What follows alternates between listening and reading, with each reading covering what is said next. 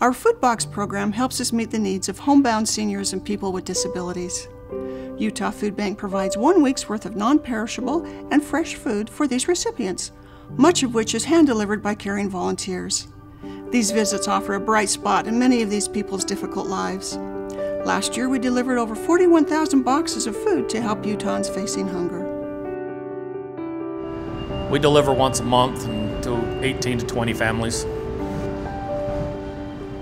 You show up and they're grateful to see you, they're happy to see you, and they start talking, and it, it's hard to leave. You can tell they haven't had any contact with anybody for who knows how long. We got one lady that constantly, every time we deliver to her, she gives us a hug. Like I said, you feel good, you know, but you, you, you wish that you could do more.